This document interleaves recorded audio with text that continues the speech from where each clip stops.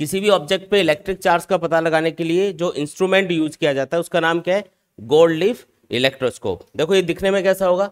तो इसके अंदर, जैसे मान लो ये ग्लास का एक जार है, और इसके अंदर ये कैप लगा हुआ है, और इसके अंदर क्या होगा? एक मेटल का वायर होगा, जिसका नीचे वाला सिरा क्या होगा? ऐसे फोल्डेड होगा, ऐसे मुड़ा हुआ रहेगा। ये एक मेटल का छोटा सा स्फेयर है, जो हमने इससे अटैच कर दिया ताकि ऊपर वाला जो सरफेस एरिया वो थोड़ा सा ज़्यादा रहे।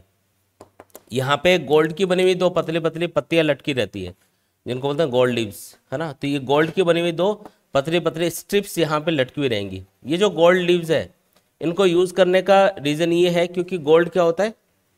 एक तो जब उसको आप पतला करते हो तो वो टूटता नहीं उसकी स्ट्रेंथ ज़्यादा होती है। और एक दूसरी प्रॉपर्टी ये है कि ये कंडक्टर होता है। तो हमको कोई ऐसा कंडक्टिंग कंडक्टिंग मटेरियल चाहिए था, जो जिसको हम पतला कर सके जिसकी पतली शीट बना सकें, जिसकी पतली लीव्स बन सकें, ताकि ये हल्की रहे, वज़न में हल्की होनी चाहिए। तभी इनमें कोई मूवमेंट आपको नज़र आएगा। अगर ये भारी होंगे तो मूवमेंट नज़र नहीं आएगा। चार्ज का पता नहीं लगा पाएँगे अपन। तो ये दो गोल्ड की बनी हुई लीव्स है, वो उसके ऊपर लटका दी अपन ने। अब हमको बताया कि जो मेटल बॉडी होती है, ये मेटल वायर है और ये गोल्ड है, ये भी मेटल है। तो मेटल्स के अंदर क्या होते हैं? बहुत सारे फ्री इलेक्ट्रॉन्स होते हैं। और फ्री इलेक्ट्रॉन्स की वजह से क्या होगा? जो मेटल्स है वो गुड कंडक्टर ऑफ़ इलेक्ट्रिसिटी माने जाते हैं। तो नॉर्मल कंडीशन में क्या होगा कि इस वायर के अंदर और इन गोल्ड लिव्स के अंदर जितने भी फ्री इलेक्ट्रॉन्स होंगे, वो रैंडमली घूमते रहेंगे। क्योंकि एटम से तो फ्री हो गए और उनके पास थोड़ी बहुत एनर्जी है नॉर्मल टेम्परेचर पे तो वो रैंडमली घूम रहे हैं। कोई ऊपर जा रहा है, कोई नीचे आ रहा है। इसलिए नेट चार्ज इस वायर के ऊपर आपको कितना दिखेगा? ज़ीरो दिखेगा। इस पर कोई चार्ज नहीं होगा। देखो, एक बार बोर्ड में ये क्वेश्चन पूछा था कि एक वायर में करंट फ्लो हो रहा है तो क्या वो चार्ज है? तो वो चार्ज नहीं है। वायर में करंट किसकी वजह से फ्लो होगा? फ्री इलेक्ट्रॉन्स की वजह से। और वो जो फ्री इलेक्ट्रॉन्स हैं, वो किसी न किसी एटम से फ्री हुए होंगे। उस एटम पे पॉजिटिव चार्ज भी तो होगा। तो वायर के अंदर जो जिस एटम से इलेक्ट्रॉन निकला, उसके ऊपर पॉजिटिव चार्ज है और इलेक्ट्रॉन्स के ऊपर नेगेटिव चार्ज है। टोटल चार्ज कितना है? ज़ीरो तो वायर चार्ज नहीं होगा। याद रखना है। वायर में अगर करंट फ्लो रहा है तो इसका मतलब ये नहीं है कि वो नेगेटिवली चार्ज है, क्योंकि उसके अंदर इलेक्ट्रॉन्स मूव कर रहे हैं। इलेक्ट्रॉन्स उसके अंदर एक पर्टिकुलर डायरेक्शन में फ्लो हो रहे हैं। इसलिए करंट प्रोड्यूस हो रहा है। लेकिन उसके अंदर वो एटम्स भी हैं जिनसे वो फ्री हुए थे। उसी मटेरियल के अंदर है, उसी वायर के अंदर है। तो उन एटम्स के ऊपर पॉजिटिव चार्ज भी है तो नेट चार्ज कितना होगा? ज़ीरो होगा तो वायर चार्ज नहीं होता।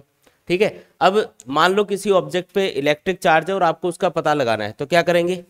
तो उसको इसके पास में लेके आएँगे। मान लो ये पॉजिटिवली चार्ज रोड है और इस पर हमको चार्ज का पता लगाना है तो क्या करेंगे? इस चार्ज रोड को हम इस डिवाइस के पास में लेके आते हैं।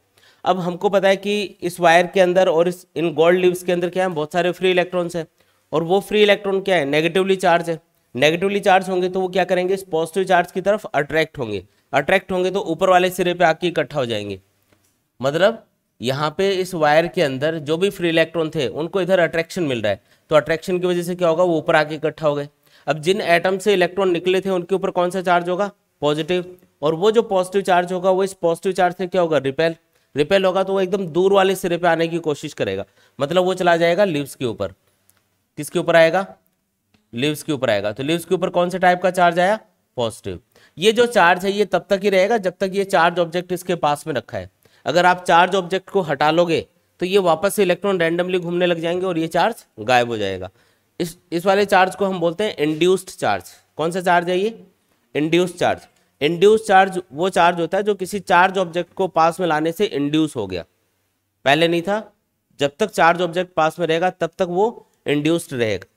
इंड्यूस होता रहेगा मतलब यहाँ पे इंड्यूस रहेगा। इसको हम बोलेंगे कि यहाँ पे नेगेटिव चार्ज है, यहाँ पे पॉजिटिव चार्ज है। ये कब तक है? जब तक ये पॉजिटिवली चार्ज रोड हमने पास में रखी है। ठीक है? अब ये जो लिव्स है, इनके ऊपर आप क्या देख रहे हो कि सेम टाइप का चार्ज आ रहा है। और सेम टाइप का चार्ज आएगा तो ये क्या होंगी? एक दूसरे को रिपेल करेंगे। रिपेल करेंगे तो ये डाइवर्ज हो जाती है, एक दूसरे से दूर चली जाती है। तो इन लिव्स का एक दूसरे से डाइवर्ज होने का मतलब ये है कि जो ऑब्जेक्ट हम पास में लेके आ रहे हैं, उसके ऊपर इलेक्ट्रिक चार्ज है। अच्छा अगर इसके ऊपर, इस रोड के ऊपर नेगेटिव चार्ज होता तो क्या होता? अगर इस रोड के ऊपर नेगेटिव चार्ज होता तो क्या होता? इलेक्ट्रॉन्स रिपेल होकर नीचे वाले सिरे पे आ जाते। ऊपर कौन सा चार्ज होता? पॉजिटिव नीचे इलेक्ट्रॉन्स की वजह से इन लिव्स के ऊपर कौन सा चार्ज आता? Negative negative negative negative charge भी आपस में एक दूसरे को क्या करते? हैं रिपेल और उस कंडीशन में अगेन आपको रिपल्शन देखने को मिलता। तो क्या इस डिवाइस से हम चार्ज के नेचर का पता लगा सकते हैं? नेचर का पता नहीं लगता कि पॉजिटिव चार्ज है या नेगेटिव चार्ज है। भाई, इस रोड के ऊपर पॉजिटिव चार्ज है या नेगेटिव चार्ज है, इसका नहीं पता चलेगा, क्योंकि दोनों ही कंडीशन में ये जो लीव्स है, ये क्या होती है? रिपेल होती है। हाँ एक स्पेशल कंडीशन में आप उसका पता लगा सकते हो। अगर आपको, आपने पहले से इसको, ये जो डिवाइस इसको चार्ज कर रखा है। मान लो इसको आपने पॉजिटिवली चार्ज कर रखा है, इस इसको कुछ पॉजिटिव चार्ज दे रखा है, इस रोड को और इन लीव्स को तो ये पहले से थोड़ी सी डाइवर्स रहेंगी। अब ये जो पॉजिटिव चार्ज इस रोड के ऊपर होगा, ये आपको पता भी होना चाहिए कि इसके ऊपर पॉजिटिव चार्ज है और उसकी वजह से ये लीव्स क्या है डाइवर्ज हो रही है। अब अगर मैं इसके पास में एक पॉजिटिवली चार्ज रोड लेके आऊँगा सपोज़ करो, इस वायर के ऊपर क्या है? और इन लीव्स के ऊपर क्या है? शुरू से पहले से पॉजिटिव चार्ज है। पहले तो हमने इलेक्ट्रिकली न्यूट्रल लिया था, लेकिन अभी क्या है? इन लीव्स के ऊपर और इस डिवाइस के ऊपर मतलब इसके ऊपर कौन सा चार्ज है? पॉजिटिव पहले से ही पॉजिटिव चार्ज है। इस पूरे डिवाइस के ऊपर पॉजिटिव चार्ज है। अब मैं क्या कर रहा हूँ? ये positively rod positively charge rod इसके पास में लेके आ रहा हूँ। ये क्या करेगी? इलेक्ट्रॉन्स को अट्रैक्ट करेगी। तो इसके अंदर जो फ्री इलेक्ट्रॉन्स है, वो अट्रैक्ट होकर ऊपर आएँगे। फ्री इलेक्ट्रॉन अगर ऊपर आएँगे तो ऊपर पॉजिटिव चार्ज क्या हो जाएगा? थोड़ा सा कैंसिल और नीचे वाले सिरे पे थोड़ा सा और ज़्यादा पॉजिटिव चार्ज आएगा. क्यों? क्योंकि इलेक्ट्रॉन निकल के जा रहे हैं. तो नीचे वाले सिरे पे जो पॉजिटिव चार्ज है, वो बढ़ा या घटा? बढ़ गया. बढ़ गया तो ये और ज़्यादा डाइवर्ज होंगी. तो ज़्यादा डाइवर्ज हो रही है इसका मतलब जो इस वायर के ऊपर चार्ज था, उसी टाइप के चार्ज की आप रोड पास में लेके आ रहे हो. अगर इस पर पॉजिटिव चार्ज है तो आप पॉजिटिवली चार्ज रोड पास में लेके आ रहे हो. अच्छा अगर नेगेटिवली चार्ज रोड पास में लेके आते तो क्या होता? तो इलेक्ट्रॉन्स रिपेल होके नीचे आ जाते नीचे ये पॉजिटिव चार्ज क्या होता है उससे? कैंसिल कैंसिल होता है तो चार्ज में क्या आती? कमी कमी आती तो ये कम रिपेल होती तो थोड़ा सा पास आ जाती। पहले इतना डाइवर्ज हो रही थी, अब थोड़ा कम डाइवर्ज होंगी। समझ में आ रहा है? मतलब इनमें जो रिपल्शन था, वो पहले ज़्यादा था। और अगर कुछ इलेक्ट्रॉन्स के नीचे आने की वजह से वो पॉजिटिव चार्ज कैंसिल हो गया इनके ऊपर तो रिपल्शन क्या होगा? थोड़ा कम। तो ये कम डाइवर्ज होंगी, थोड़ा सा पास आ जाएँगे। तो वो किस चीज़ का इंडिकेशन होगा? कि इस वायर के ऊपर और इन लीव्स के ऊपर जो चार्ज है, उसके अपोजिट टाइप का चार्ज हम इसके पास में लेके आ रहे हैं। जैसे इस पर पॉजिटिव चार्ज है तो ये कौन सा चार्ज होगा? नेगेटिव। तो इस तरीके से आप चार्ज के नेचर का पता लगा सकते हो, लेकिन उसके लिए आपको पहले से पता होना चाहिए कि इस वायर के ऊपर या इस डिवाइस के ऊपर कौन सा चार्ज है। क्योंकि उसकी हेल्प से हम इस चार इस पे जो चार्ज है, उसको डिफाइन कर सकते हैं कि ये किस टाइप की चार्ज रोड पास में आई होगी। ये चीज़ समझ में आई क्या?